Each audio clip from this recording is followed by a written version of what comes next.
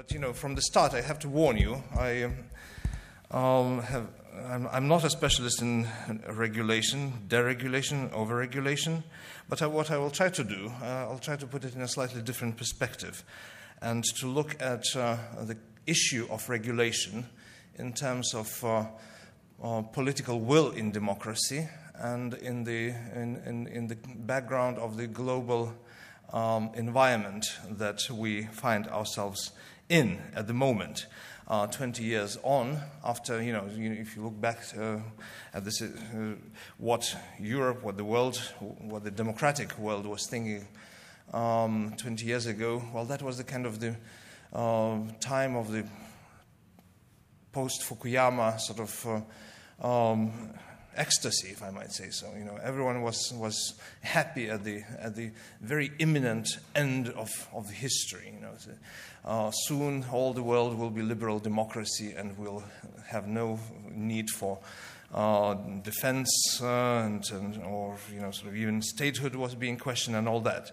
Um, you know, 20 years on, uh, I think uh, the illusions have uh, dissipated, but the um, Fukuyama induced self uh, um, delusion of the West, of the democratic West, is still with us, lingering. We are still not past it. Um, so I would like to look at the, at the uh, issue of regulation in, from that perspective. Um, we are in a global competition. That's, that's a nostrum which is uh, repeated uh, very often. But more importantly, uh, we are engaged in a zero sum game. Again, you know, um, 10 years ago, even seven years ago, uh, the, the reigning doctrine was that actually, no, it's not as, you know, the, the competition is not a, a zero sum game, it's a mutually conducive, mutually enriching process in which uh, sort of we gain as much, you know, sort of as, as we compete and, and uh, so on and so on and so forth. Um, I don't need to point out uh, uh, that, that uh, we're currently engaged in a, in a very sort of, you know, sharp uh, zero sum game in, in, eastern Ukraine. But uh, even if we look at the players further afield, as long as uh, one of the players in the competition treats the whole process and uses it as a zero sum game, uh, the, the, whole, uh, you know, the, the whole, uh, the logic of the whole process turns into um, into, into, competition for uh, the most limited bottleneck resources, whether they be uh, technological advances, intellect, or, or material resources. So uh, we, you know, and sometimes we fail to realize that the competition is much sharper than we think. We, we tend to assume that uh, this is something uh, we can. Um, you know, get away with just doing a little bit of work, just, just uh, sort of, you know, putting in an hour here or there, and, uh, um, but, but no, actually, uh, it's, it's, it's much tougher than, than we tend to assume sometimes. Um, right. So, um, what are the players that we're engaged in, the, that the democratic world is engaged in the global competition with? Well, these are, uh, I would like to uh, call them, the, and the primary, sorry, I have a bit of difficulty with, with my computer who decided to conk out at the moment. Um, I would like to use the term used by Professor uh, John Keane uh, that the regimes we are uh, currently most sharply competing with are the new despotisms. And he described this in, in, in, in a lecture uh, further published in Sydney Democracy Network. Um, as opposed to standard authoritarian regimes, uh, the new despotisms are characterized uh, by the fact that they assume at least a certain consensus from their population. Now, what are the new despotisms? Well, these are regimes uh, from Russia to Qatar and from Belarus to Azerbaijan and from uh, People's Republic of China uh, to Kazakhstan.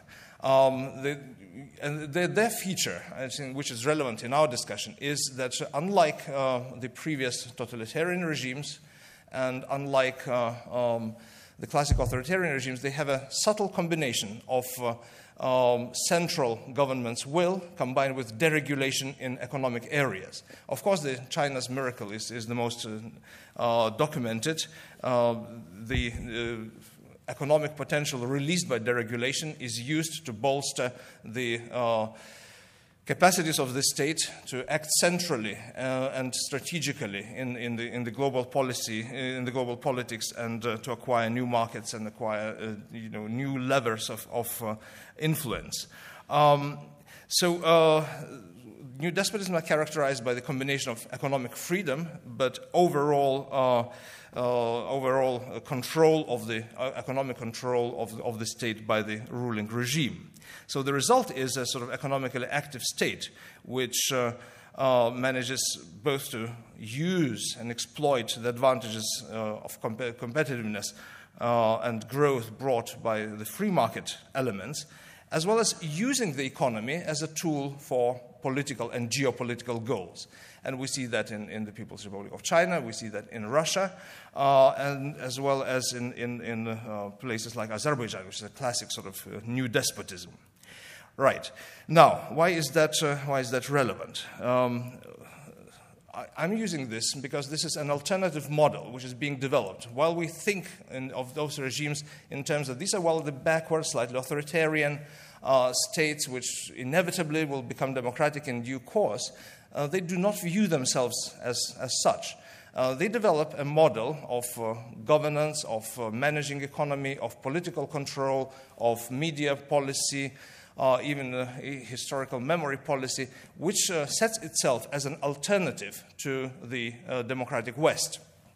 Um, it's surprising, you know, if you look at the Chinese newspapers in Hong Kong, sort of hotel, how much of the space is devoted to kind of discussion with, with the democratic West, pointing out its inadequacies, pointing out its uh, um, flaws and inner contradictions, and so on and so forth.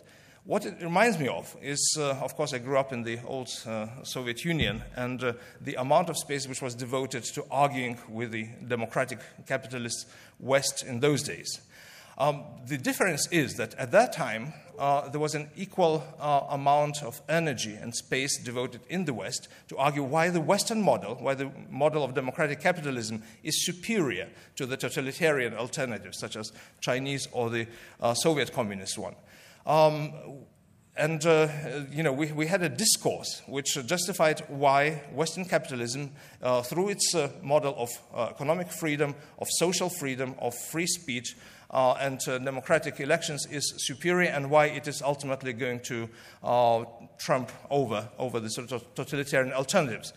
Um, so uh, we had a sort of Washington consensus. Well, Washington consensus uh, was the result, the result of this decade-long debate in the Western society. Why our model of managing things, uh, well, using deregulation. This is the great sort of uh, advance of the 80s and, and the uh, accepted opinion of the 80s that deregulation works better than, than state regulation. Uh, why is that going to help us to win over totalitarian alternatives? The difference with the present day is that while there is uh, in the new despotism, whether it's Russia, whether it's Belarus, and I've read quite a few sources in Belarus how they're arguing about the contradictions of Western society, whether it's China, uh, they are arguing why uh, Western democratic states do not work, why they are sort of uh, uh, shaken by crisis, why they are always uh, hit by new economic misadventures from states like uh, Greece, and, and, so on and so forth, uh, why uh, there is a discontent and resentment brewing up in those societies, why there is a moral. Um, uh, moral degeneration, as uh, you know, uh, you probably all know about sort of this narrative by, promulgated by Kremlin. Um, so there's ongoing debate why the new despotism, this new model, is superior, why it is an answer to the problems posed by democracies. Whereas uh, unlike 20 years ago, unlike uh, 25 or 30 years ago, there is no correspondent discourse in the West uh, trying to prove that our model, despite its inadequacies, is superior to what is being offered. We still view those, our global competitors of ours, as, as the kind of historic mistake, uh, which historic inevitability and progress will um, smooth out and like a wrinkle in the fabric. It, and it's, um, you know, they, they will end up being democracy. But they don't view themselves as this. They view themselves as the next stage in the development.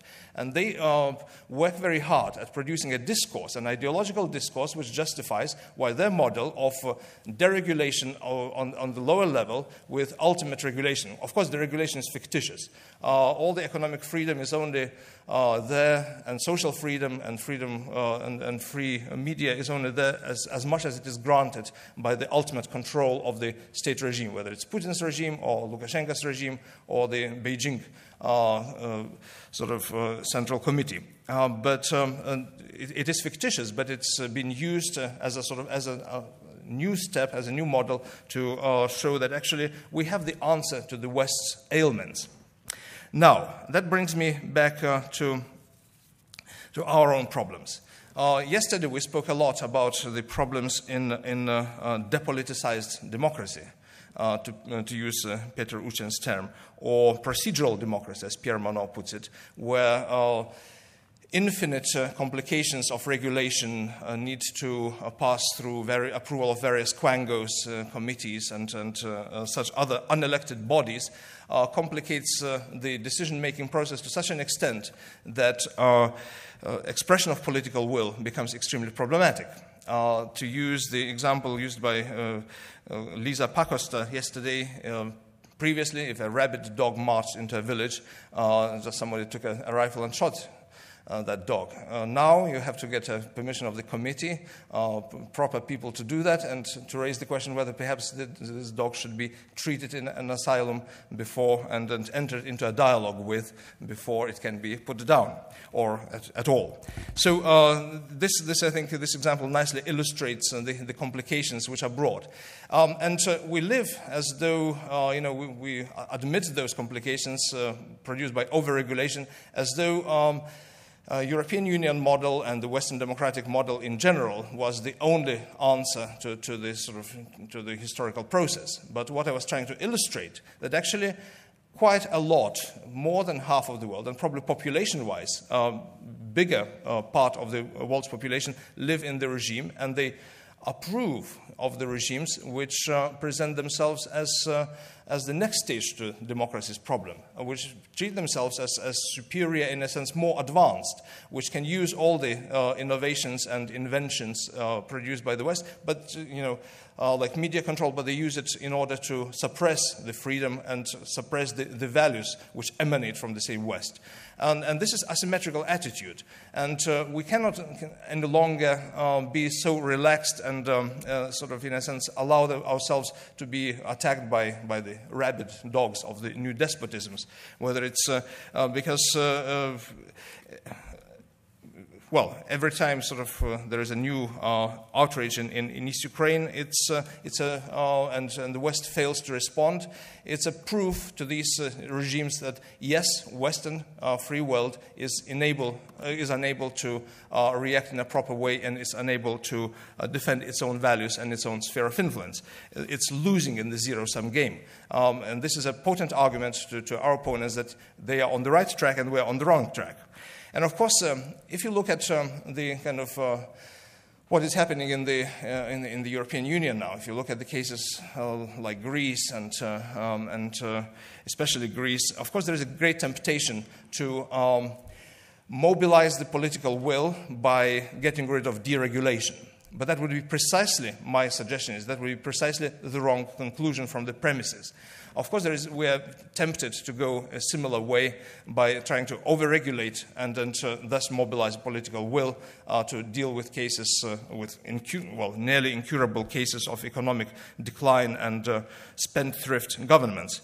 Uh, I think we have to recover the um, narrative of uh, economic freedom and social freedom and deregulation as uh, the strength, not the weakness of Western society. That's to say, to look for a uh, deregulation regime which allows uh, political will to emerge democratically without this rabid dog dilemma. And I think only then we can formulate a uh, coherent narrative. Why, after all, despite all the crises and all the weaknesses, our Western democratic system is superior and it's going to triumph in the long run over, over the non democratic uh, alternatives, the new despotisms. Well, that's more or less what I wanted to offer in, in terms of uh, comments, and uh, I hope it's not too much astray. Thank you. Et ma tegelikult äh, küsiks kohe ühe küsimuse ka, et äh, kuulates seda ettekannet, siis äh, kuidas teile tundub, kas kas selles lääne demokraatias üldse on veel tulevikus ruumi sellisele aatelisele, maailmavaatelisele poliitikale või ongi tulevik selline protseduuriline, automatiseeritud demokraatia? Um, yeah, um, if I uh, understood you rightly, um, the future of idea-based policy. Well, well, that, that's what I was leading to. I mean, sort of, uh, we, we don't have an, um, a kind of unifying narrative to justify why we, the West, are superior to these uh, other regimes, whether it's Lukashenko's Belarus or Putin's, uh, Putin's Russia or uh, Beijing's, uh, Beijing's uh, um, regime. You know, Washington Consensus was something that was very, you know, 20 years ago was something that, you know, was the book by which we all played. You know, the agreement that capitalism, economic freedom, and democracy and prosperity and growth go, go together like, like love and marriage in, in, in the Frank Sinatra song. Well, um, now, I think uh, neither the Frank Sinatra's uh, axiom holds true nor, uh, nor Washington consensus. But there is Beijing consensus. But we don't have a renewed uh, consensus about what uh, set of ideas actually guarantees uh, not only sort of a free society, but also growth, prosperity, uh, stability, and strength to resist. And I, uh, this is what I was working to. You know, we have to bring in this, this new narrative, and of course, this will mean uh, the repoliticization of democracy, of which Peter Ushen was speaking yesterday. Uh, yes, we have to have these ideas, you know, that, that uh, give direction to what we are doing, not just a sort of kind of argument about uh, shapes of banana. Okay, thank you. Um, I'm not going to ask, I'm just going to make a statement. I'm reading some very interesting books lately, one after the other, and wishing other people would read books as well, and especially government leaders and so called leaders.